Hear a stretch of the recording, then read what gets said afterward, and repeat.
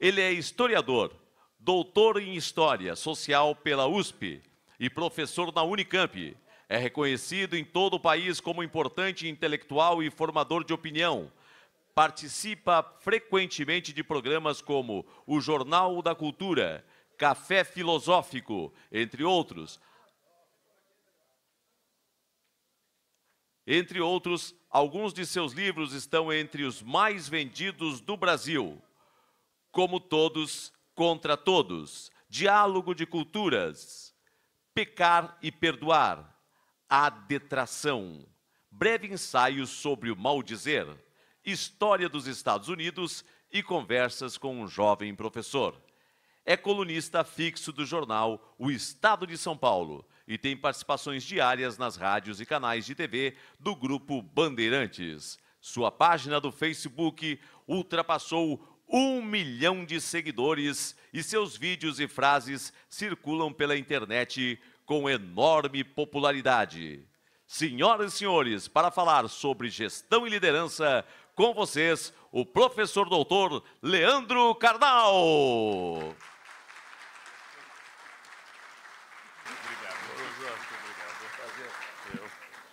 Muito bom dia. Eu agora lembrei de uma palestra que eu dei há algum tempo na sede da Fiergs, no qual o mestre de cerimônias dizia que eu tinha vários livros publicados, silêncio, que eu era professor da Unicamp, silêncio, formado na USP, silêncio, tinha sido convidado para dar aula na Inglaterra e na França, silêncio, e aí no final disse, e ele é daqui, gente, é legal, já todo mundo aplaudiu. velha característica gaúcha. Né? O importante é ser daqui, é ser daqui. E é um prazer sair de São Leopoldo há 30 anos para ir a São Paulo e tenho voltado com frequência ao meu estado.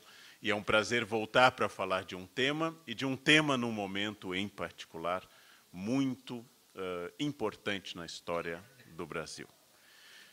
De alguma forma, a polarização que o Brasil vive ela é vivida há mais tempo no Rio Grande do Sul. Nós somos, por excelência, o estado de chimangos e maragatos, de colorados e gremistas. E essa bipolaridade foi sendo atualizada de muitas formas. O Brasil descobriu essa bipolaridade há pouco tempo. Vivemos um momento com complicações e eu quero tentar pensar no nosso país, tentar pensar na especificidade desse momento complexo, em que a crise econômica parece ter começado a diminuir seus aspectos mais trágicos. Inflação sob controle, juros começaram a diminuir, desemprego ainda bastante preocupante, mas a crise política não dá mostras de diminuição. Então, vivemos um momento atípico, e eu queria ressaltar que, em particular, quando olhamos o cenário de Brasília, é complexo pensar que no Congresso Nacional, e é, está a alma de todo regime democrático. O legislativo é o coração de uma democracia. Então é difícil eu, um entusiasta do Estado de Direito, entusiasta do regime constitucional, entusiasta da ideia de habeas corpus, liberdade de imprensa, liberdade de expressão, ter que defender o fato de que o legislativo é, de longe, o órgão mais importante da democracia. Para essas cenas quase cotidianas, em particular em Brasília, onde parece que a nossa classe política, especialmente no plano federal, vive em Copenhague e administra a Dinamarca e inventa fundos e verbas num país à beira do colapso econômico, como se vivesse num outro tempo ou numa outra época. E exige da nação sacrifícios que o Congresso Nacional não faz. É complicado. E é complicado defender democracia. É como defender filho problemático em escola. Você o ama, mas sabe que ele é um demônio. É problemático defendê-lo, porque a diretora está dizendo a verdade. Seu filho é um capeta. É, eu sei, mas eu amo. Eu amo. Eu amo a democracia, mesmo que ela não pareça nos amar tão intensamente nesse momento. E o ódio também está presente nas redes sociais. É espantoso. Ontem, na Biblioteca Nacional, eu comentava para um público uh, seleto como esse que nada me espanta mais do que o fato de que os meus odiadores profissionais são mais fiéis a mim do que os meus seguidores. Eu tenho pessoas que diariamente me mandam mensagem: eu te odeio, tudo que você escreve é uma porcaria, odeio todas as suas. e diariamente me leem. E fica a seguinte pergunta, para dar um exemplo bobo. Eu, Leandro, odeio um tempero chamado coentro. É uma característica minha. Odeio coentro. Logo, eu não compro, não uso, não consumo. Isso não me torna melhor ou pior gostar de coentro, preferir salsa não é nada extraordinário. Há pessoas que parecem que odeiam coentro e diariamente comem coentro. Um colega meu filósofo, com quem dei palestra dois dias na Bahia, disse que a coisa mais fiel do mundo é o ódio. Por isso que você, o amor não dura para sempre, mas o ressentimento de um ou de uma ex é para sempre. Ex é permanente, ex nunca passa. Então esse ódio demonstra também uma capacidade de transportar para um plano que às vezes é fatal. O que aconteceu nos Estados Unidos é espantoso. Um rapaz racista, já bastante grave isso. Um rapaz racista dirigindo um carro avança sobre uma multidão, atropela e mata uma pessoa. É bastante grave o grau de ódio que chega. Num momento que o presidente dos Estados Unidos se revela um incentivador de xenofobia e interpreta que a expressão Casa Branca é literal que ela tem que ser branca mesmo.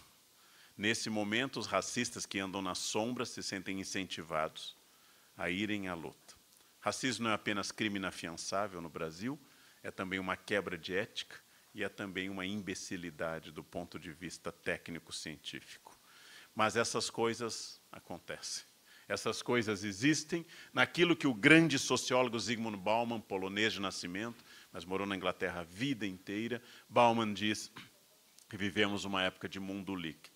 Os jovens talvez não notem isso. Aqui há pessoas com pouca idade. Eu fui criado num mundo de certezas. Quando minha mãe nos batia, não havia dúvida nenhuma que era para o nosso bem. Éramos tratados como chantilly, bate que cresce. Quanto mais batesse, mais crescia. Quando meu pai proibia algo, não havia culpa alguma. Minha escola, Colégio São José, alemão católico, não tinha dúvida nenhuma que era errado fazer alguma coisa. Eu fui criado num mundo sem dúvidas. Fui criado num mundo sólido e não no mundo líquido. Fui criado com certezas, certezas absolutas sobre praticamente tudo. Quando faziam coisas conosco, era sempre para o nosso bem. Não havia trauma infantil. Não havia bullying nós tínhamos que correr. Não havia bullying na escola, para não apanhar. Porque se apanhasse na rua, apanharia em casa, por ter apanhado na rua. Não havia trauma. O trauma foi inventado num congresso depois. E essa geração foi preparada para um mundo que não ocorreu. Eu fui treinado e bem treinado por excelentes formadores no São José, na Unicinos. Por exemplo, sou portador de um diploma de datilografia tão útil hoje como escrever com pena de ganso. Porque quem nunca fez datilografia, qualquer pessoa com menos de 30 anos, quem nunca fez datilografia, quem não tem na cabeça o mantra ASDFG, C cedilha LKJH, quem não sabe usar liquid paper, quem não sabe usar Errorex, quem não sabe isso digita mais rápido do que eu. Eu sou um professor que sabe fazer provas em mimeógrafos sete da manhã, aquela lufada de álcool. Por isso, tantos colegas do magistério entraram no alcoolismo. De manhã cedo, aquele álcool nos narizes. Eu sei usar retroprojetor. Eu sei passar um fax. Isso já ficou no passado. Mas tenho dúvida entre cabo HDMI e USB quando vou utilizar. Esse mundo líquido é um mundo de certezas voláteis, de certezas rápidas, de certezas complexas de serem mantidas. Eu trago essa imagem que eu peguei na internet há um mês. É um canadense, vocês podem ver de laranja no canto direito, é uma imagem real. Esse canadense ouviu falar que um tornado passaria perto da sua propriedade, estudou a rota do tornado, concluiu que o tornado não poderia atingi-lo e foi dar um tapa no gramado. Enquanto o mundo despencava, ele decidiu cortar grama. É um pouquinho assim que eu vejo hoje trabalhadores no Brasil. Gente que faz, gente que estuda, gente que coopera, que se associa. Nós estamos cortando a grama enquanto os tornados estão ao redor. Enquanto o mundo desaba, enquanto os poderes desabam, nós estamos trabalhando. E é importante dizer às senhoras e aos senhores que o Brasil existe por causa dessa convicção. Só podem existir corruptos no mundo porque alguém produz dinheiro. Se todos roubassem, ninguém encheria o cofre do qual o corrupto tira recursos. E é importante que haja mais gente honesta do que desonesta, senão não pode também existir isso. É preciso existir uma maioria de trabalhadores é preciso existir gente que sistematicamente acorde cedo, vá para o trabalho, produza, volte e tenha valores. Não há sistema de segurança num shopping ou num banco que possa trabalhar com a hipótese de todos roubarem, porque o sistema entra em colapso. Nenhum professor pode aplicar provas se todos os alunos colarem. A corrupção, o erro, o deslize, o equívoco, sempre são minoritários, senão o sistema entra em colapso. De alguma forma, vem uma pergunta: como nós, que estamos alçados à condição de líderes, como nós enfrentamos esse momento no qual se espera muito do líder? Porque, creiam-me, não importa que tipo eu seja, no momento que eu assumo qualquer liderança, eu vou concentrar energias anseios e expectativas que antecedem muito a minha gestão. De pessoas que querem coisas há muito tempo e vão esperá-la e demandá-la de mim agora. É natural que onde haja mais expectativa exista também maior demanda. É natural que entre o fracasso e o sucesso, nesse salto que diariamente temos que dar, tanto no dia a dia quanto no médio e longo prazo, existe a pergunta: o que faz com que grandes empresas quebrem, mesmo tendo situações excepcionais? Quando eu saí para o doutorado em São Paulo há 30 anos, meu pai ofereceu três possibilidades. Eu poderia ir de Varig, de VASP ou de Transbrasil. Nenhuma das três existe mais.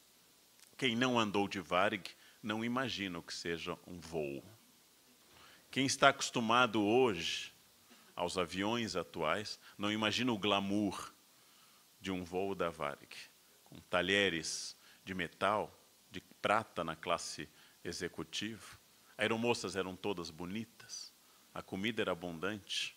Eu cheguei a consumir feijoada na Transbrasil, feijoada num voo, e vinha com tudo, laranja, couve, num voo. E hoje a mulher pergunta, doce ou salgado? E toca um pacotinho para isso.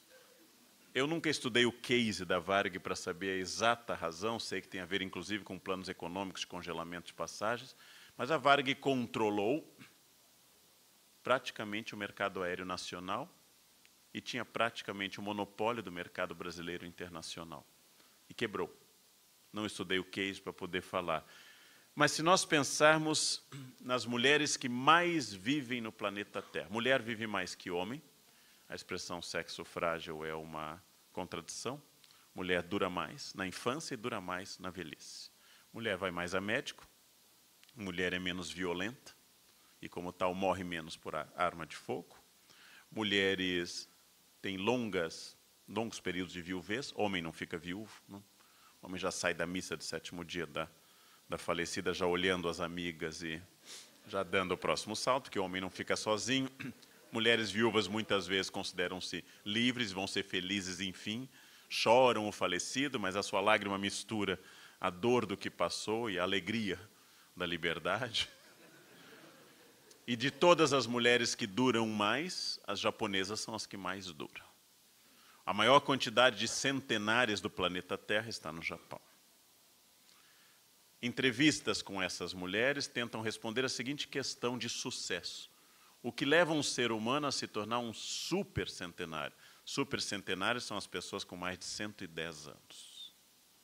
O que leva alguém a ser um super centenário? E as japonesas dão a resposta que eu leio sempre com atenção. Uma diz com clareza: nunca bebi, me afastei do álcool. Nunca coloquei álcool na boca, por isso cheguei a 112. A outra explica: todo dia uma dose de saquê para relaxar à noite. Tenho 114. A outra diz: foquei na família, meus filhos, netos e bisnetos. Diz, não casei e sem preocupações cheguei a essa idade. Uma diz que faz exercício diariamente, a outra que é religiosa, a outra diz que nunca se exercitou e assim não desgastou as juntas e está intacta. Uma atribui ao budismo, outra ao peixe outra o ar que ela mora, outra se manter focada na família e nos empreendimentos. Em resumo, não tem nenhuma fórmula. Nós não sabemos por que as pessoas duram muito. Eu tenho condições matemáticas. Coma com equilíbrio, faça atividades físicas supervisionadas, visite um médico, tenha ancestrais longevos, isso é importante, que você aumenta a grade matemática da sobrevivência. A grade matemática. Mas o que explica um ser humano imortal como a Rainha Elizabeth II? O que explica isso? Uma Highlander? Não sei. Ela própria não sabe. O príncipe Charles não sabe e lamenta diariamente, porque ele só exercerá o cargo por falecimento da administradora, que é a sua mãe. Nós não temos uma fórmula exata. Mas tudo que eu falo de administração ou de saúde é a grade matemática. Tal como São Paulo, tal como Rio de Janeiro, Porto Alegre é uma cidade que, infelizmente, enfrenta altos índices de violência, tal como qualquer grande cidade. Significa que se eu sair pelo Parque da Redenção com notas de 100 reais me abanando à noite, a chance de eu ser assaltado é grande. Porém, os ladrões podem observar e dizerem: é um golpe. Essa pessoa está querendo uma pegadinha e não se aproximarem, porque ladrão não é burro. Ah, gente honesta pode ser burro, ladrão não pode ser. Né? Então, não vai assaltar. É a chance matemática. Se eu comer moderadamente, se eu fizer exercício, eu aumento a chance. Se eu comer apenas picanha gorda dia e noite, pelo menos evito Alzheimer porque não vou chegar à idade de desenvolver Alzheimer. Né? Vou morrer bem antes de chegar às doenças degenerativas. Então, eu não tenho uma explicação clara, em geral, a autoajuda, as fórmulas empresariais, esses livros de mercado costumam dizer 10 passos para o sucesso. Cinco coisas para você se tornar sexy. Eu tenho a sensação que a pessoa que compra o livro Cinco Passos para Ser Sexy, ao final do livro, não é sexy. Eu tenho a sensação que quem compra o livro A Cabeça de Steve Jobs, ao final não se torna um Steve Jobs. Porque Steve Jobs nunca leu esse tipo de livro. Ele nunca buscou essa fórmula. Hoje nós temos o óbvio. Eu não sei o que acontecerá amanhã, eu não sei quem nos governará amanhã. Eu não sei em quem votar em 2018. Sou um especialista em política e temo que a cédula vai me apresentar como candidato Satanás, Lúcifer, Capeta, Cramulhão, demônio, Beuzebu. E aí só a minha recomendação subjetiva, não é uma regra. Votem em demônio novo. Um demônio que nunca exerceu o poder no inferno, porque pelo menos ele tem ideias.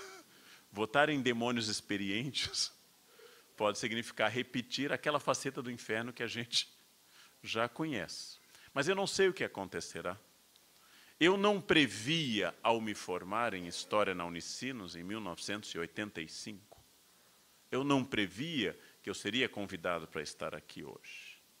Eu não previa que eu seria uma pessoa exposta à mídia ao estudar História e Filosofia. Eu não previa nada disso. Eu me formei para ser um professor. Creio que o governador Sartori se formou também para ser um professor. Não era, suponho, pena que ele não esteja aqui para redarguir, que o governador tenha, na sua infância em Farroupilha, dito assim: eu vou estudar bastante, que um dia governarei esse Estado. Essas coisas acontecem.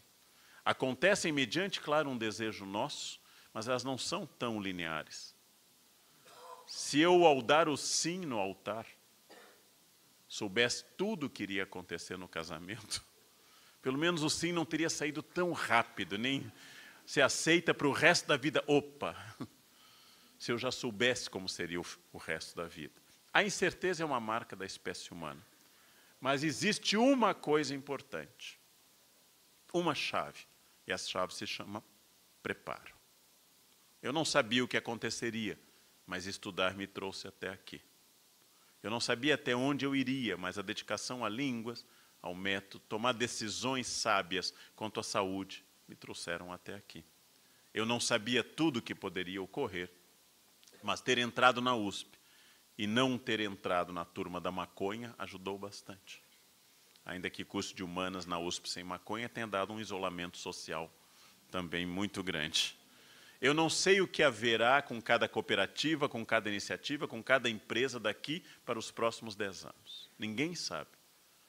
Mas o preparo vai fazer toda a diferença. Santo Agostinho propõe essa linearidade, passado, presente e futuro, um futuro incerto, um futuro que pertence a Deus na ótica de Agostinho, e eu não tenho nunca a possibilidade de sair desse presente contínuo que eu estou, já que o futuro nunca chega e o passado sempre já está para trás. Mas vamos substituir essa ideia, o passado como experiência, o que cada uma e cada um trouxeram a esse momento aqui no bairro Menino Deus, em Porto Alegre.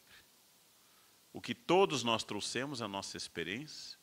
O que nós estamos fazendo aqui nesse encontro é ação. E o que nós pensarmos preventivamente para o futuro, que nós trouxermos preventivamente para o futuro, trata-se da estratégia. A estratégia é a capacidade de antecipar seu futuro. Logo, hoje à noite, a minha fala e a fala do governador já serão experiência. E haverá uma ação hoje à noite e o sábado se tornará estratégia. A capacidade de enfrentar o futuro é a capacidade de permanentemente ser estratégico, permanentemente aprender com o erro, que é a mensagem que a estratégia nos manda como entidade. Erro quer dizer mude a estratégia. Tome mais cuidado com isso. Os erros humanos são fascinantes porque eles só têm duas categorias: ou eles são fatais ou não fatais. Sobre os fatais não há que fazer avaliação.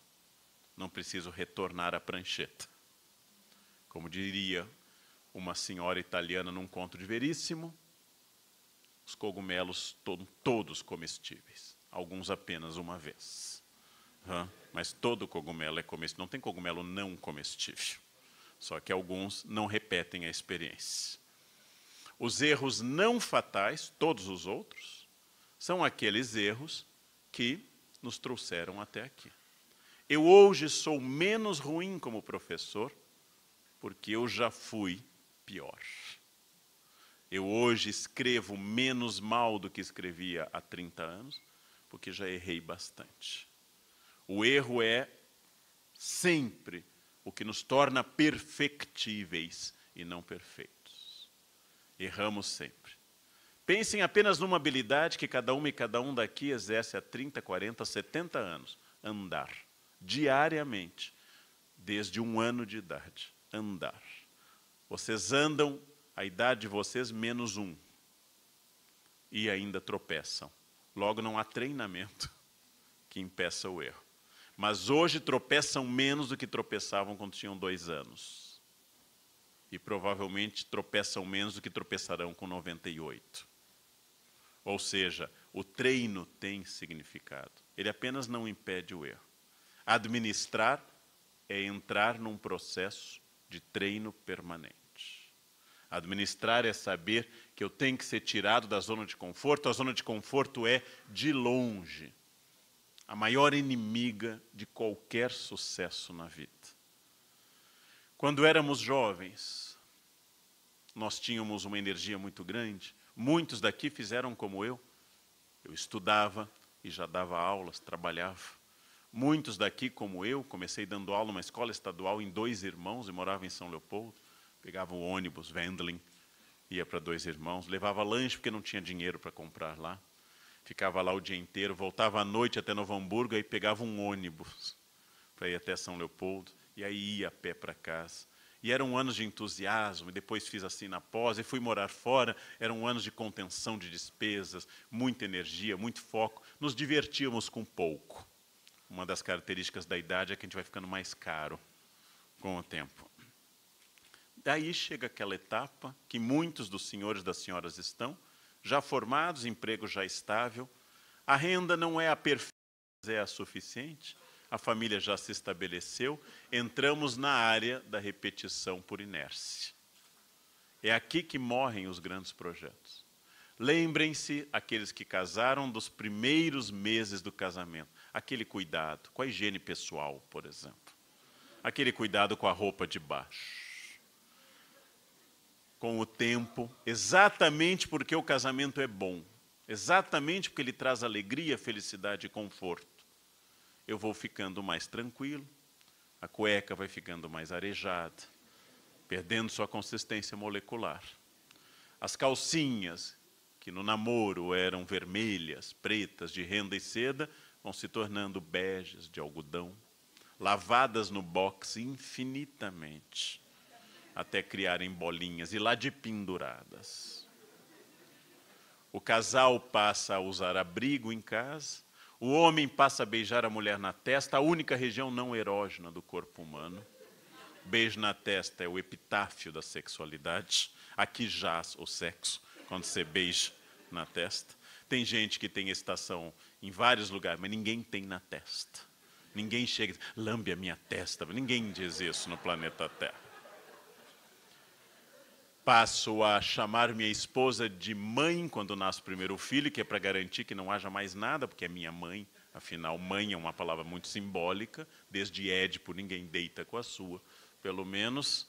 E finalmente o casal chega a um tal estado de tranquilidade, de desleixo, de zona de conforto, que rompe a última barreira. Passam a usar croque. A partir desse momento, acabou qualquer possibilidade qualquer contato. E, curiosamente, é bom. Os jovens não nos escutem, mas é bom. Curiosamente, é bom exatamente que você não precisa de nenhuma cenografia. Só que a chave para tornar um casamento importante e interessante é a capacidade de reinventá-lo, que é a mesma de uma empresa. A pessoa que casou há 20, 30, 40 anos não existe mais. O rapaz loiro que disse sim deu origem a mim. Não existe mais aquilo. Não existe mais aquele ser. Aquele ser se foi. E eu preciso reinventar. Querer manter o que era ou querer mudar o que eu tenho é a chave de fracasso dos casamentos e das empresas. Ah, mas meu pai fazia assim. Há 20 anos fazemos desse jeito. No meu tempo era assim. Bem, passou. Deus inventou uma das melhores técnicas para renovação de modelos e paradigmas administrativos, chama-se morte. Ele mata uma geração e a outra vem. Quando as pessoas não morrem, elas começam a incomodar. Como dizia um colega meu na Unicamp, eu fundei esse departamento. Eu disse, então, professor, não o afunde. Já que o fundou, não o afunde. Não, a melhor coisa que a gente pode fazer em determinado momento é entender que as premissas que me trouxeram até aqui foram válidas para me trazer até aqui, mas não serão válidas depois. Ousar ou repetir. Ficar onde não está tão bom ou ir para onde possa ser melhor. Essa é uma grande questão. Tem um momento que você acha que não está tão bom no emprego, tem um momento que você acha que não está bom na empresa, mas você já não quer mais pagar o ônus da incerteza de empreender. É nesse momento que muitos anos antes do seu corpo morrer, seu espírito morre. O espírito raramente morre junto com o corpo. Quase sempre ele morre antes. O corpo é a última coisa a se despedir da vida. Há corpos jogados em hospitais há muitos anos sem espírito. E há pessoas vivendo sem espírito em plena saúde. Ainda andam, ainda tem energia, mas não tem mais espírito. Vou usar uma metáfora agrícola em homenagem a meu avô imigrante, que criava galinhas e porcos. Até a terceira semana, um pinto se romper a casca do ovo morre. Ele não tem condições de viver no meio ambiente. Se ele não romper no vigésimo primeiro dia, ele morre. Tudo que me protege me sufoca. Tudo que me serviu para vir até aqui, em algum momento, vai me atrapalhar. Como eu tenho dito, a fórmula mais exata para eu produzir um imbecil é mimando. Mimo é a fórmula infalível para produzir um ser humano idiota. Basta protegê-lo totalmente do mundo. E ele vai chegar ao mundo como um pinto incapaz de romper a casca. Quem mima filhos lança uma mensagem equivocada. A mensagem de que essa criança vai encontrar, quando adulto, pai e mãe. Ela não vai encontrar pai e mãe, ela vai encontrar genro, nora, chefe, síndico e sogra. E ela não está preparada para isso. Ela está preparada para pai e mãe que dizem sim e acham maravilhoso tudo que ela faz. Cabe aos pais proteger, alimentar, amar, vacinar, impedir predadores, mas deixar cair e esfolar o joelho, deixar ir mal na escola se for culpa dela, e fazer entender que a cada ação corresponde uma reação. Se você perdeu a prova, é um problema seu.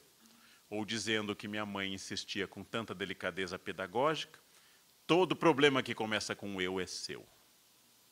Eu estou, é seu, não precisa nem trazer. Eu estou cansado, morra, é um problema seu.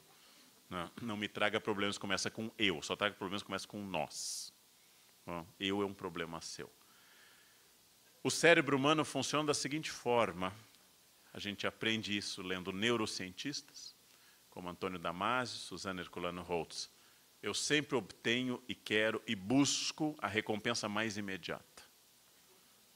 Comer esse donut é mais prazeroso que comer uma alface. A alface vai causar benefícios a médio e longo prazo. O donut vai causar um prazer imediato. Ninguém é feliz comendo alface, gente, nem o coelho. O coelho come melancólico alface, ele come, olha para a gente, coma. Ninguém é feliz comendo alface. A vaca nunca sorri comendo capim, ninguém é feliz comendo capim, mesmo os animais vegetarianos. As pessoas são felizes com bacon, com gordura e com fritura. Bem, o donut vai me trazer um prazer imediato, mas vai ficar comigo para o resto da vida, em alguma parte do meu corpo. Variam aí as posições. Quadril para a maioria das mulheres, barriga para a maioria dos homens. Mas se eu comer apenas capim e correr na esteira e tomar água, eu vou definir melhor o corpo. E o Leandro, de 60 anos, vai estar mais feliz no futuro. Mas eu não conheço o Leandro de 60 anos. Nunca fui apresentado. Eu conheço o Leandro hoje com 54. E é esse que eu sirvo quando como um donut. Então o que acontece? Protagonismo é quando eu entendo que as ações têm consequências e a consciência produz sobre mim uma lei de ação e reação, causa e efeito. Protagonismo é quando eu entendo, gente, que eu saberei falar inglês quando estudar, e não por causa de jeito, talento ou vocação que eu terei dinheiro quando eu guardar e investir, que meu corpo será bom quando eu der a esse corpo o treinamento e alimentação necessários, que eu serei a pessoa que corresponde nesse protagonismo à capacidade exata de agir e saber o que eu quero.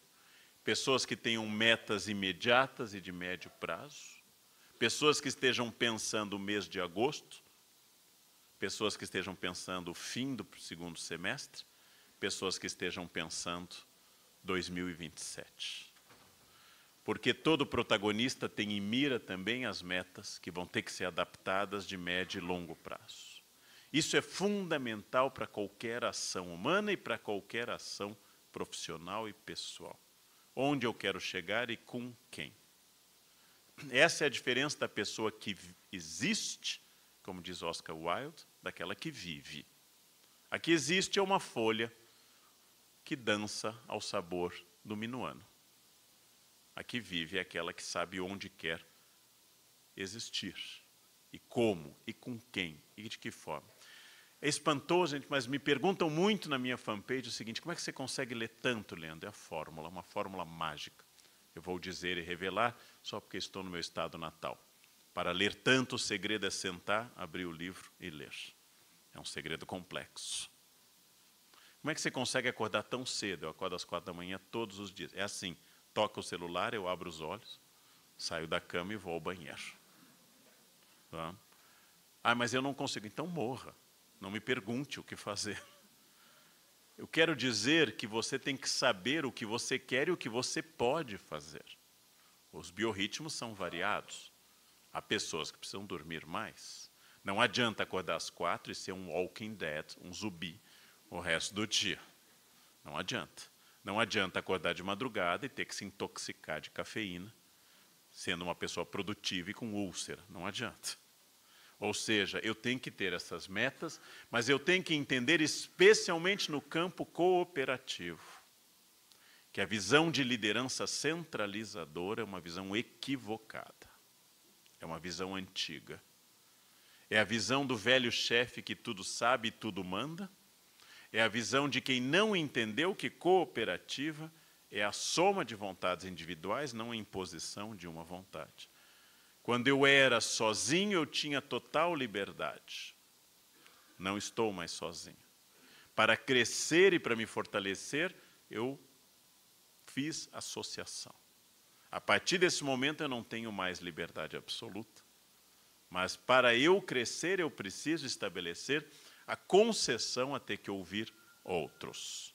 Esse é o momento que exatamente a liderança sabe que todo Todo empreendedor e líder tem um saber técnico, mas tem um político pessoal, tem intuição e tem carisma.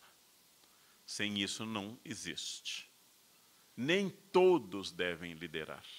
Como nem todos devem tocar oboé, ou nem todos devem ser exímios dançarinos de tango. São habilidades específicas.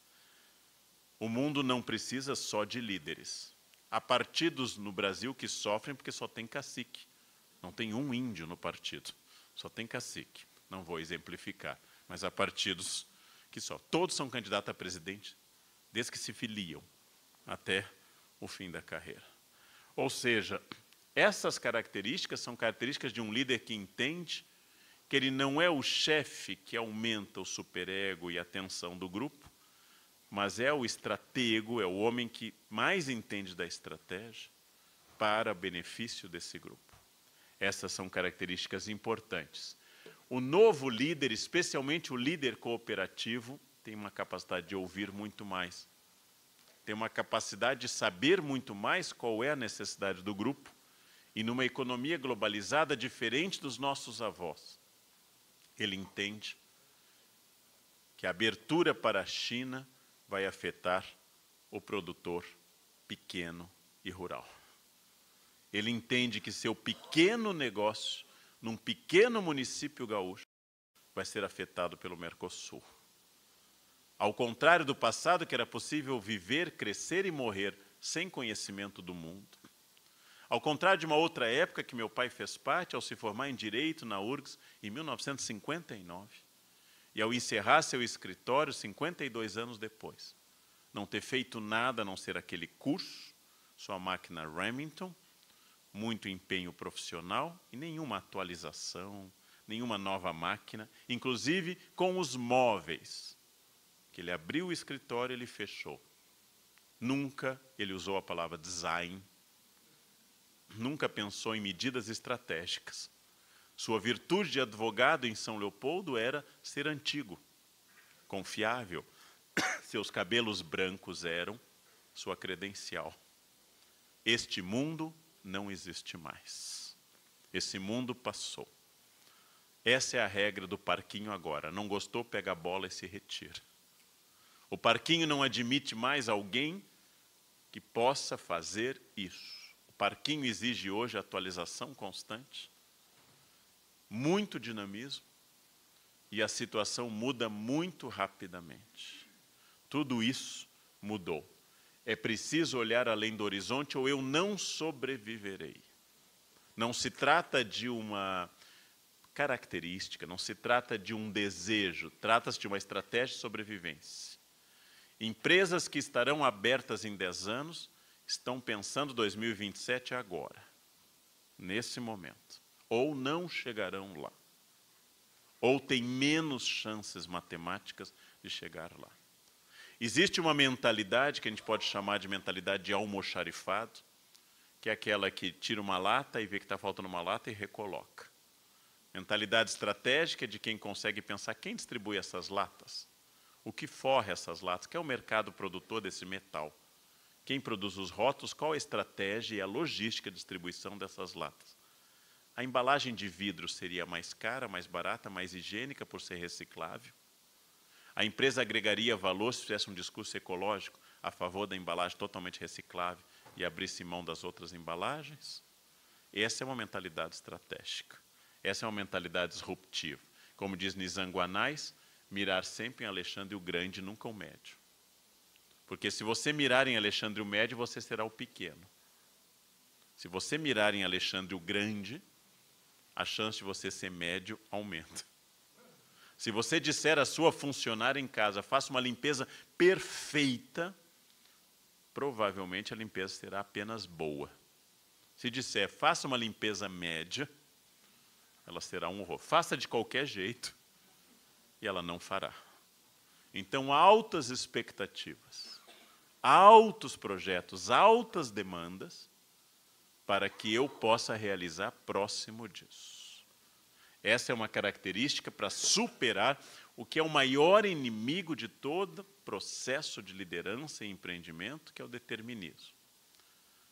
A ideia de que as coisas acontecem automaticamente. Eu, por exemplo, odeio a palavra energia, que eu ouço muito. Vou com alunas ricas de São Paulo pelo mundo, estamos no Butão, elas entram no hotel, esse hotel tem uma energia boa. Não, ele é caro, custa mil dólares a diária. Esse hotel tem luxo, tem toalha de mil fios, tem lençol egípcio de 1.500 fios, não é energia. Essa pessoa é chata, né? tem uma energia baixa. Não, ela é desagradável, não é a energia dela, é que ela é insuportável mesmo. Tem nada a ver. Energia elétrica, atômica, magnética. Não existe possibilidade de eu explicar alguma coisa por pensamento mágico. Ah, Leandro, você fala bem. Sabe o que é, né? Aquário, é ar. Quem é de ar fala bem. Que secretária organizada ela é de virgem. Virgem tem obsessão pela ordem. Que chefe autoritário. Ares, Ariana é um cão chupando manga. É uma coisa. Pensamento mágico não leva a lugar nenhum. Pensamento mágico é um obstáculo ao sucesso. O outro obstáculo é a vaidade. Sabe o que é vaidade? Os que estão pensando, será que ele vai falar do meu signo? Será que ele não falou do meu signo? Isso é vaidade, é outra coisa que atrapalha bastante. Um homem autônomo é o que entende que a vida é um diálogo entre seu desejo soberano e a realidade do mundo que nem sempre cede a esse desejo. Eu não sou aquilo que eu desejo sempre. Eu tomo uma decisão, tomo a decisão de vir para o Rio Grande do Sul e embarcar no primeiro voo do Rio de Janeiro onde eu estava. Tomo a decisão de ficar num hotel ao lado do aeroporto para facilitar. Tomo a decisão de estar no aeroporto uma hora antes para não haver problema com a agenda profissional. E São Pedro, padroeiro dessa província, decide dar um tom impressionista ao Salgado Filho e joga uma neblina generosa, atrasando o voo em uma hora. Ou seja, eu não controlo tudo. Eu não sou alguém onipotente. Porém, eu posso sempre tentar reagir a isso, sem pensamento mágico, mas com ação. E o primeiro passo é parar de interpretar trabalho como castigo. Eu venho dizendo isso há muitos anos. Empreguinho é aquilo que eu tenho para conseguir algum dinheiro e sobreviver. Todos aqui já tiveram ou têm um empreguinho. Trabalho é aquilo que me torna socialmente inserido e produtivo, útil ao grupo e com algo para fazer também. Trabalho é mais do que emprego. Emprego é uma fase da vida. Trabalho é uma inserção social. Como eu disse uma vez num café filosófico, reproduzindo a frase de um colega meu, que tentou definir quando eu estava muito cansado numa época coordenando após a Unicamp, ele disse, olha, todo mundo enche o saco. família enche o saco. Bom, todo mundo enche o saco, até amigos enchem o saco.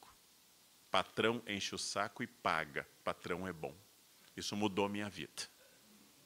Todo mundo me enche o saco e tira meu dinheiro. Aliás, todo mundo ao meu redor tira o meu dinheiro. Só tem um ser que me perturba e me paga, é o meu reitor. Eu passei a gostar mais dele, eu abraço feliz. Passei a gostar mais dele. Trabalho é uma coisa fundamental, nada mais insuportável que alguém desocupado, que vai encontrar problemas em tudo. Eu posso estar cansado, eu não posso estar derrotado.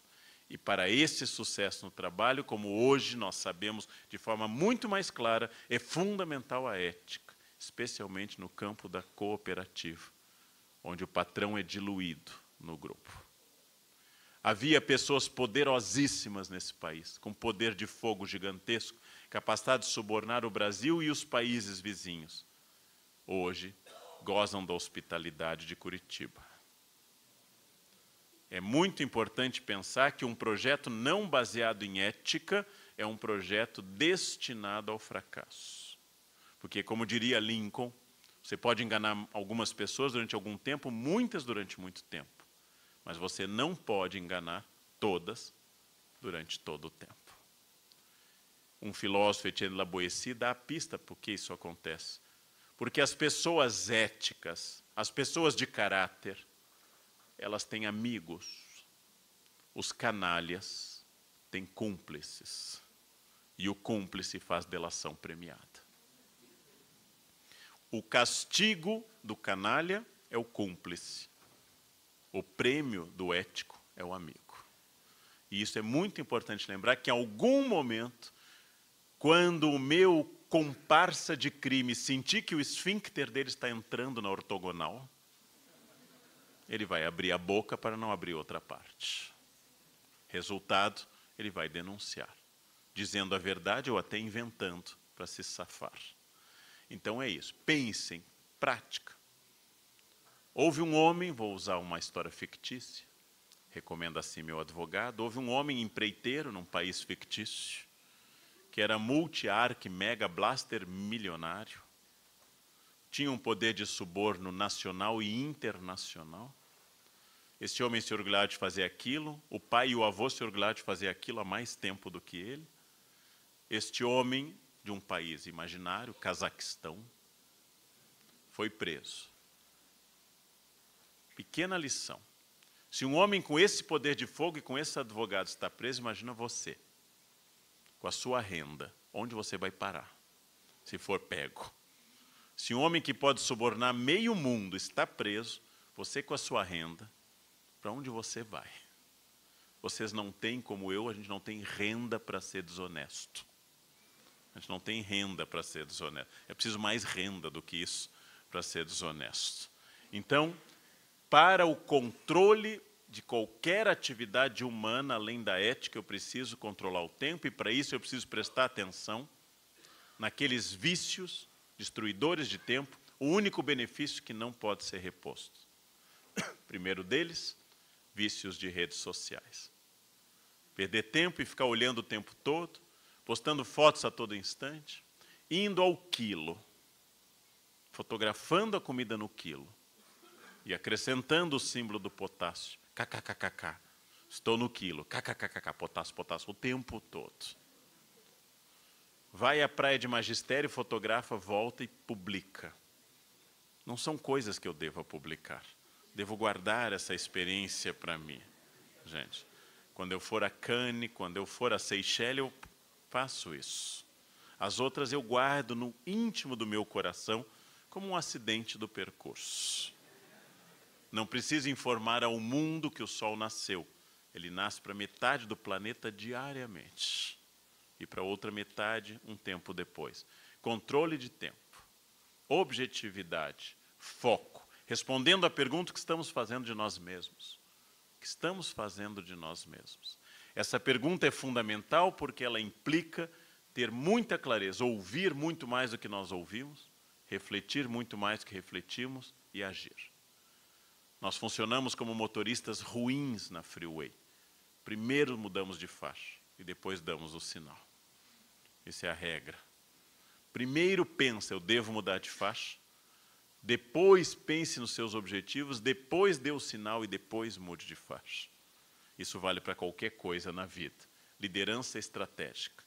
O líder que não está ali para ver se as pessoas estão cumprindo o horário, mas está para ali para ver se as pessoas estão dando o melhor de si na busca de soluções, se as pessoas estão crescendo junto, se elas estão empenhadas num projeto que é sempre coletivo e não apenas meu. Se a minha cooperativa, eu passo essa noção clara, ela é uma arca. Como arca tem toda espécie de bicho.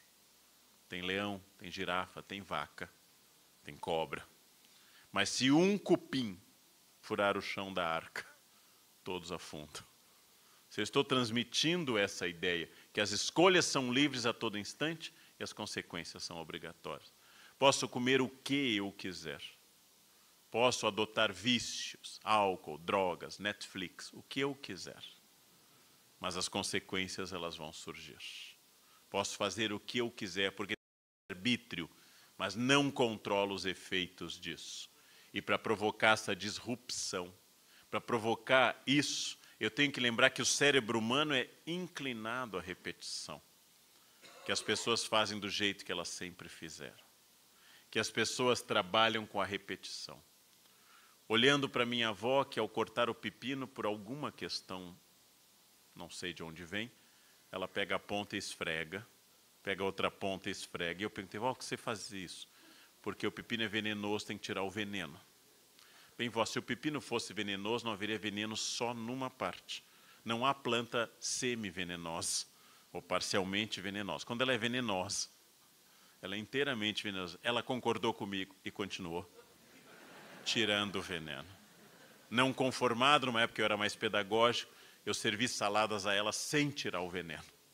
E depois que ela comeu e passou bem e estava feliz de volta, você comeu sem te haver, não faz efeito nenhum. É verdade. E continuou tirando veneno. E morreu tirando veneno. E como nunca foi envenenada, ela morreu com a certeza que ela chegou à idade que chegou porque tirou o veneno constantemente. A minha empregada me garantia que leite com manga mata. E eu disse: Isso é bobagem. Comi na frente dela uma manga e tomei leite. E ela disse: Ah, o senhor é neto de alemães, não funciona. Ou seja, não adianta. O cérebro humano adora a repetição e a fantasia. O cérebro humano adora memórias que estabeleçam essa conexão. O cérebro humano gosta de encontrar o que deixou, porque causa menos gasto de energia. A casa é mais segura que a rua, tem menos gasto de energia. Eu vou enfrentar menos coisas. Porém, o mundo inteiro está sempre em transformação, gente, sempre, sem exceção. Tudo está em transformação. Permanentemente, eu tenho que pensar que eu tenho, usando a imagem do pensador de Rodin, o que eu faço para mudar essas coisas? O que eu faço para provocar essa ruptura? O que eu faço para controlar? E a partir daí, usando a imagem de Bob Carlyle, o self-made man, eu vou agir em busca dessa melhoria, agir em busca dessa transformação. No início do ano, eu reúno meus pós-graduandos, os novos, estabelecemos estratégias de estudos para o ano. Primeira semana de janeiro, pego um aluno novo e digo, bom, seu foco de pesquisa implica você estudar francês. Se é, professor, é verdade. Logo depois do carnaval eu vou começar um curso. Estamos em janeiro, o carnaval foi no fim de fevereiro esse ano. Eu perguntei, você vai desfilar em alguma escola? Você é rei Momo, convidado? Se vocês o conhecessem, entenderiam o porquê da, da pergunta. Você é rei Momo em alguma... Não, então começa hoje à tarde. Não há possibilidade de mudança se eu disser que a partir de 2018 eu vou guardar dinheiro todo mês. Em 2018 eu vou voltar a estudar línguas, eu tenho que resolver isso. Em 2018 eu vou ser menos irritado no trânsito. Não, não se enganem, não percam tempo se enganando. A mudança tem que começar hoje na hora do almoço, ou ela não existirá. Senhor de si supera o determinismo, como eu disse antes. Senhor de si sai do controle externo. Senhor de si entende que eu uso o outro. Ah, no Brasil não dá certo. Ah, o Rio Grande do Sul está quebrado. Ah, minha família tem isso. Eu só uso o outro quando eu quero ser preguiçoso. Eu só uso o outro quando eu quero impedir o esforço. O custo de todo o processo é o esforço. E eu digo sempre uma coisa dura e tenho repetido no jornal, na televisão, e insisto nela sempre. Talvez por ser descendente de imigrantes. Quando alguém me diz que eu tenho jeito ou talento, eu levei um tempo para entender que jeito talento é um nome que o vagabundo dá ao esforço que ele não faz. Quando o vagabundo não faz o esforço, diz, nossa, você tem muito jeito para isso. Meu jeito é forte. E ele começa às quatro da manhã e vai até meia-noite. É um jeito forte. Nós precisamos pensar que toda escolha implica perda. Eu não posso ser casado e solteiro ao mesmo tempo. Eu não posso gastar e ter dinheiro. Eu não posso não estudar e saber. É infantil querer desse jeito. Para eu ter algo, eu tenho que perder outra coisa. Todo homem que aqui está casado com uma mulher teve que renunciar a 3,5 bilhões de outras mulheres. Todo homem que casou com a sua esposa teve que comunicar indiretamente a Gisele Bündchen, nossa conterrânea, não vai rolar mais, eu achei a minha, siga seu caminho, fica lá nos Estados Unidos.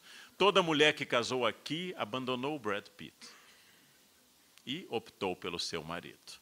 Não pensem muito nisso, não deprime, mas toda escolha implica perda.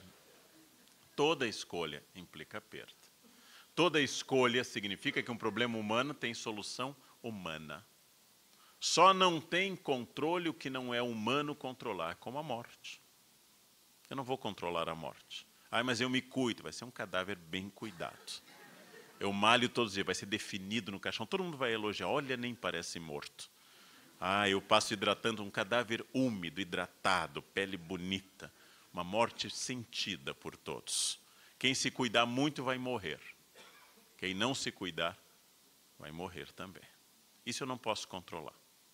Eu não tenho controle sobre tudo mas eu tenho controle sobre muita coisa e gestão de mudança, especialmente cooperativa, é permanente. Se querem uma metáfora, eu acabei de escrever isso num artigo. Gestão de mudança é banho. Tomou hoje, amanhã, de novo. Essa semana eu já fiz bastante, vai feder. Parou, fede. Gestão de mudança é banho. Gestão de mudança é venceu hoje o leão, amanhã de novo. Cansou, sai do parquinho. Essa é a regra. Para vocês terem uma ideia, as empresas ora implicadas todas na Lava Jato têm um código de ética. E, pasmem, senhoras e senhores, duas delas, inclusive, têm um código de ética de minha autoria, que me encomendaram e eu fiz. E lançaram uma semana de compliance. E com vinho branco mediano e canapés, o presidente falou, eu falei, mostramos o código, bateram palmas, botaram na gaveta e pronto. Lançou um código de ética, perfeito. Semana que vem, nova palestra. Daqui a 15 dias, prêmio a quem está cumprindo o código de ética. Em seis meses, avaliação e demissão de quem não cumpriu o código de ética. Avaliação. Assim eu vou criando uma empresa ética. A fantasia funciona como se eu dissesse a meu filho de cinco anos: é importante escovar os dentes todos os dias, mas eu nunca mais vou dizer isso para você. Seríamos todos banguelas. É preciso dizer quatro vezes ao dia e verificar. Escovou mesmo, faz bafinho para eu ver se escovou. E durante 10, 12 anos, repetidos diariamente, escovou os dentes, até que uma broaquinha se aproxime dele e diga que ele tem mau hálito. Então, aquilo que ele não me ouviu por 12 anos, ele vai passar a escovar todos os dias. É assim que funciona. É assim que funciona. Mudança, ação. Quero insistir nesse ponto. Mudança, ação. Ação leva a mudança, não fantasia. E não pensamento positivo, uma grande fantasia infantil. Façam o seguinte: fiquem em casa fazendo pensamento positivo seis meses, bem fechados, mas bem positivo. Cerquem-se de cristais, acendam incenso, Façam mantras, eu vou dar certo, eu vou dar certo, eu vou dar certo.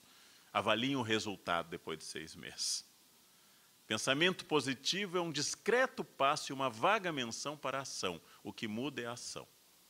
Não adianta ficar dizendo eu vou enriquecer, eu vou ser magro, eu vou emagrecer. Me vejo como. Vou mentalizar magro. O que vai torná-lo magro não é isso. Aprendi agora num jantar com uma senhora de ascendência judaica. Ela me viu comendo pouco e disse: O senhor come pouco, professor, imigrante. Ela. E eu disse: é, Eu preciso controlar o peso. Professor, eu passei pela guerra. Na guerra, os gordos emagrecem, os magros morrem. Isso mudou também a minha. Quem é gordo emagrece, quem é magro vai morrer. Então pensem nisso. pensem nisso no futuro. Comam, porque uma guerra vem vindo. uma guerra vem vindo. Liderança, ação, empreendimento, cooperativa é sempre bonsai. Não é nunca agronegócio, nem quando é agronegócio. Qual é essa metáfora? Galho a galho, raiz a raiz, regar, mudar para luz. Amanhã, outra ação. Nunca é ligar a colheitadeira e entrar no automático. É bonsai. Significa foco, foco acima de tudo, foco como meta.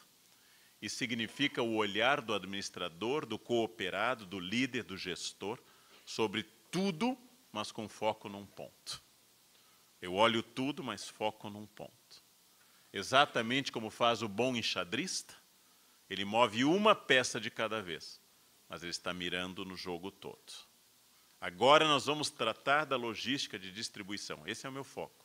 Mas ela tem que dialogar com o plano coletivo de gestão. Supera o pensamento mágico, pôneis, senadores éticos, superem o pensamento mágico.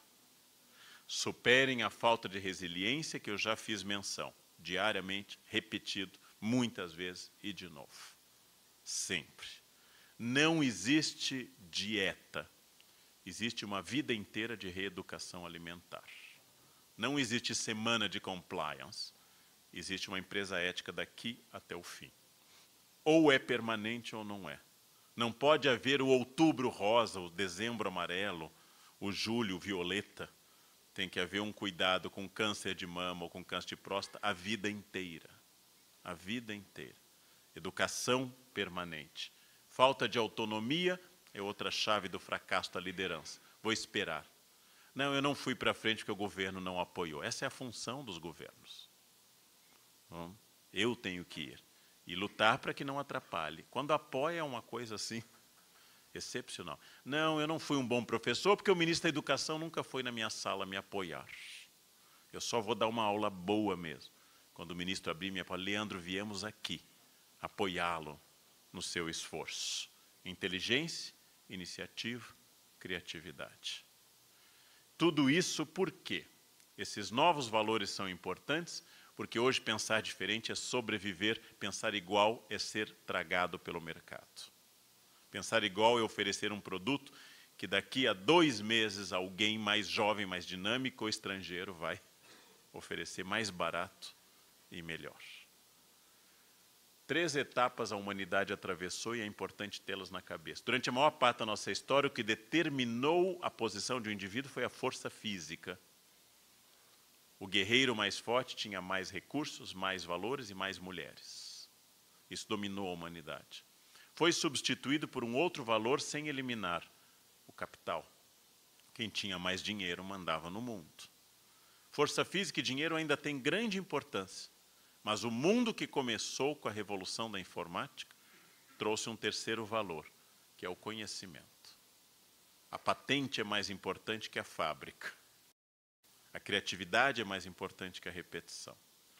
Quando alguém faz uma patente de um celular novo com um novo modelo, fica com mais de 80% do valor dele. Conhecimento. 15% vão para o capital, o industrial chinês que vai produzi-lo e 5% vai ser distribuído pela força física, o trabalhador chinês ou de outro país que vão produzir. Hoje, o que move o mundo são as ideias, essa capacidade de gerar ideias e a coragem de enfrentá-las. Eu reclamo isso quando as empresas me chamam, porque às vezes precisamos desenvolver a criatividade, a empresa está muito formal, está muito na caixa. Eu disse, como é que vocês fizeram o processo seletivo?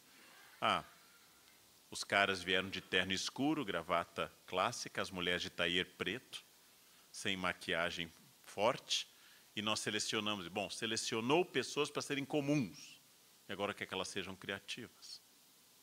Você selecionou pessoas que se adaptaram ao modelo e agora quer que elas saiam do modelo. Selecionou gente na caixa e quer que elas saiam da caixa. Aí queremos empreendedorismo, um custo de empreendedorismo na empresa. Primeira providência deles vai sair da empresa. Empreendedores CLT não combinam. Ultimamente, CLT parece que não combina com mais nada, mas o empreendedor e o CLT, CLT não combinam. Essa é uma imagem de um velho moinho eólico e um novo moinho eólico. É importante para ter presente, para fugir, em primeiro lugar, da primeira armadilha da renovação estratégica de uma empresa de gestão. É a frase errada, equivocada, tudo que é novo é bom, tudo que é velho é ruim. É um erro. É um erro brutal isso. Nem tudo que é novo é bom nem tudo que é velho é ruim. Eu só posso ter um moderno moinho eólico porque o velho moinho medieval foi concebido como princípio. Um está no outro. Só que o velho moinho medieval, apesar de poético, não serve mais. Não serve mais para seus propósitos. Mas o princípio dele está no outro. Sempre eu tenho algo do princípio anterior no novo. E essa renovação não pode ser, como eu visitei uma escola, uma escola de aplicação, uma federal brasileira, e o drama da escola que estava levando ao seu fracasso era o excesso de novidade. A cada semana os alunos eram apresentados para um novo projeto que não se desenvolvia e na outra semana vinha outro projeto, não criando nenhuma continuidade pedagógico-administrativa. Eu tenho que inovar quando eu preciso estabelecer estratégia e não inovar por inovar. Não simplesmente inovar. Funciona exatamente como cadeira. Quando o arquiteto ou designer começa a melhorar muito a cadeira, ela fica desconfortável. A cadeira já chegou ao máximo do seu desenvolvimento. Quando eu começo a acrescentar muito frufru, ela deixa de ser importante. Essa é uma frase que eu sigo, que eu mantenho, que é quase que um lema de vida, e com ela eu me aproximo da conclusão. Se eu estou crente que eu sou sócio majoritário da minha vida, se eu estou crente que a minha vida é gerida por mim, se eu estou crente de que eu sou o principal acionista do empreendimento da minha biografia, eu estou apto a entrar numa cooperativa. Se eu ainda sou dependente e quero que os outros façam, eu não estou apto para isso. Eu sou sócio majoritário da minha vida. Todos daqui sabem e todas têm consciência que o sócio majoritário não manda em tudo. Ele não tem o poder total, mesmo que ele acredite ter. Mas que o sócio majoritário tem um poder enorme. Eu não posso salvar o mundo, nem melhorar o mundo, mas eu posso salvar o meu mundo e melhorar o meu mundo. Talvez eu não consiga salvar o planeta, mas posso fazer da minha empresa, da minha casa, uma área de consciência ecológica. Pode ser que eu não consiga impedir a violência no trânsito em Porto Alegre ou em São Paulo, mas sendo um bom motorista, eu já faço uma parte importante disso. Sou sócio majoritário da minha vida. Meu corpo, dentro dos limites do humano. Minha renda, dentro dos limites do humano. Meu conhecimento, todos são frutos de opções que eu fiz, descritas no ato penitencial da Igreja Católica, assim. Como é que uma coisa acontece? Por pensamentos, palavras, atos e omissões. Quando eu omito, eu estou fazendo. Quando eu ajo, eu estou fazendo. Sou sócio majoritário da minha vida. Em que momento minha vida vai mudar? Em que momento a empresa vai se renovar? Em que momento a cooperativa vai adiante? não no momento mágico nem no momento especial, mas no momento da ação, da ação clara, definida para isso. Essa é a coisa mais difícil de transmitir às pessoas. Quando eu admito alunos na pós-graduação, eu dou para eles uma lista imediata de 10 livros para a gente começar a conversar sobre ser alguém produtivo e intelectual. E aí eu vou medir a reação deles. Quem não lê aqueles 10 livros não é apto a seguir na pós. Quem lê e faz resumos, fichas e me mostra, é uma pessoa apta a concluir o mestrado, que é uma espécie de especialização com texto. Agora, quem leu e viu no nono livro que tem uma outra bibliografia, mais densa do que aquela, e que contradiz parte da que eu dei, e foi atrás dela sozinho, esse é um candidato ao doutorado, porque ele é autônomo do ponto de vista intelectual. É um teste para saber o que a pessoa faz com aquilo. O funcionário recebeu uma tarefa, não fez, não pode ficar na empresa. Fez e volta, fiz, e agora? É um funcionário de nível médio, excelente padrão B, é um chefe de almoxarifado, será bom coordenador do setor de avencas e samambaias do corredor principal. Nunca empreenderá. Fez, foi além, teve ideias, executou o que era esperado com exímia precisão e ainda pensou além, esse é um candidato a ser um cooperado. E finalmente, como às vezes eu brinco, pode ser que apareça um que diga, li os dez, li mais dez depois disso, fiz uma síntese, estou escrevendo um vigésimo primeiro, esse que é o meu cargo, esse também já é perigoso. A gente tem que cuidar um pouquinho, um pouquinho demais, às vezes menos, não, não tanto, não tanto. Não. Bem, sou sócio majoritário da minha vida. Sócio majoritário da minha vida significa, implica que eu sou a pessoa que estabelece o rumo, o norte e a possibilidade. Esse é o sócio majoritário. Então, o segredo é sempre esse. É aquilo que os filósofos vão chamar, segundo Luc Ferry, de uma vida bem-sucedida. O RH vai ser chamado de resiliência e capacidade de atender. A filosofia, o RH e os outros vão chamar de muitas formas. Minha avó chamaria de felicidade. Simplesmente felicidade. Não? E ela morreu feliz, tirando o veneno do pepino diariamente, mas morreu feliz a esse respeito. Felicidade não é um acidente, felicidade não é uma coisa fortuita, felicidade depende de ação concreta e de vontade concreta. Pergunta final de Freud. Pouco antes de morrer, em 39, atacado de câncer de garganta e de boca, fugindo da barbárie nazista, Freud pergunta: por que, que as pessoas buscam tanto a infelicidade e quando encontram, se surpreendem? Por que, que o indivíduo vai à casa da mulher que gerou sua esposa? Todo domingo, para não dizer o nome. Não gosta da comida, não gosta do ambiente, detesta a família dela, não gosta do programa que ela liga no domingo à tarde, não gosta de nada disso. Volta triste quando liga o Fantástico, os gols fica mais deprimido ainda, porque perdeu o domingo lá. E no próximo domingo, vai de novo. E daqui a 10 anos, ai, de novo na sua mãe de novo na sua mãe. O que vai ter que acontecer para você mudar esse padrão? O que vai ter que acontecer? Por isso que eu insisto nesse ponto. Não? As pessoas que sabem são sócias majoritárias da sua vida. As outras ficam sentadas esperando. Que mais eu tenho que ler para continuar na pós? Qual o modelo vai determinar se vocês são empreendedores, líderes, gestores ou aquela linha B, que vai ficar onde está. E notícia ruim, tem bastante lugar para a linha B. Tem bastante lugar. Aliás, é onde tem mais vaga é a linha B. A linha B vai morrer ali feliz, pastando, pastando, até desaparecer sem deixar rastro. Quem quer ser feliz, vai em busca. Quem não quer, aguarda. Era isso que eu queria dizer. Muito obrigado pela atenção. Muito obrigado.